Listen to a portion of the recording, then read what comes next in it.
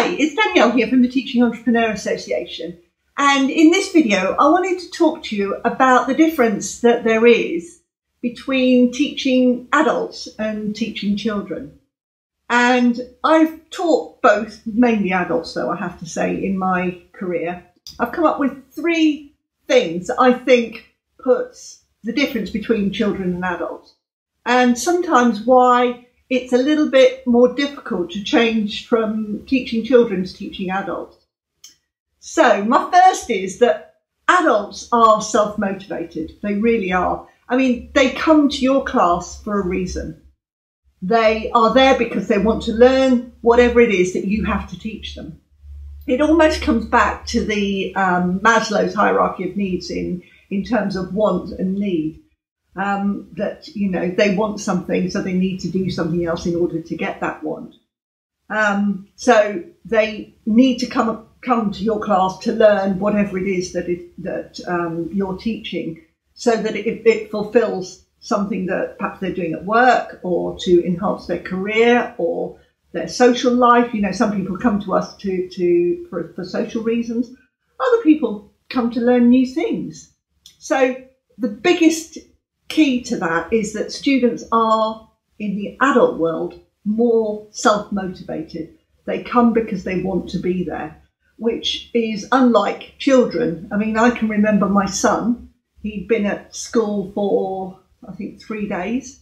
So he was in um, reception class and uh, or kindergarten, um, and we were walking home from school, and he said to me, "Mum, I've got something to tell you."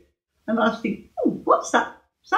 And he said, I'm quitting school. Those were his exact words. I'll never forget it. I'm quitting school. I've done enough now. I've been there three days. I didn't have the heart to tell him, you know, he's like four years old and got to go till he was 18 and beyond. But anyway, um, children go day after day after day and they get fed up with it, they don't enjoy it or whatever it might be, and they're not motivated to actually go and, and learn. So that's my first tip. My second one is, um, or my second point that I wanted to make was that with um, adults, they want to know why. Why am I learning what I'm learning? Why are you teaching me in the way you're teaching me? What will what will I achieve by doing this? So children just accept that they have to learn it. You know, you, you go in and teach them something and they accept that they have to learn it. Adults don't. They they you know, why am I learning this? What what is it that you're you're teaching me? It goes back to context. They like to know the context of which uh, of what they're learning and what it will enable them to do. One of the things I do is that I um, outline what they're going to learn. Um, I tell them it's not set in stone because it may be that we'll spend longer on one thing, or it may be that students aren't interested in doing something else. But I give them a general outline and I explain to them why we do each one of those, how that fits into the overall course. It actually sort of sets expectations. Um, I had a couple of ladies, uh, elderly ladies, who came to my class. It was an IT class, and um, they, it was all beginners. And they came and said, "Right, okay, I've seen what you're going to teach me. Thanks for the outline, but it doesn't say that we're going to learn eBay." Because actually that's the only thing that we want to learn because we are buying things at car boot sales and selling them online on eBay to supplement our pensions. So that's why they come along. So it meant that I could either add the eBay into my teaching or I could send them somewhere else that did the eBay. I fitted it in, but there we go. It's all about why we're teaching what we're teaching and whether that will help them to reach whatever learning goals that they've got.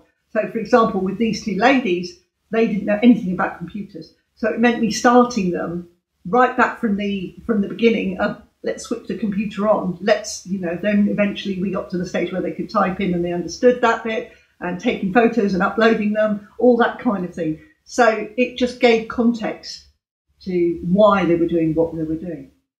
The third thing is that adults come along with so much experience. You know, they've lived lives, you know, they know so much. The most important thing is to find out about your students because what will happen is you will be able to use their experiences and their knowledge and their skills in what you're teaching.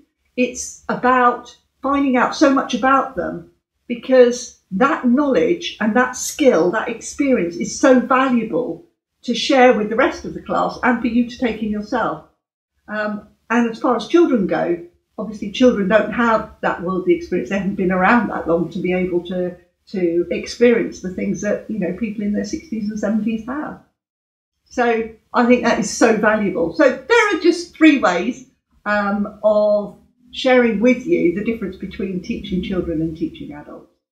Here at TEA, we're always creating new how-to guides, new top tips, tutorials, checklists, worksheets, templates, and so much more. The reason we do this is to help you learn and progress further and to really nail what I've been talking about. Don't forget, click on the link below to receive yours and to take this topic to the next level.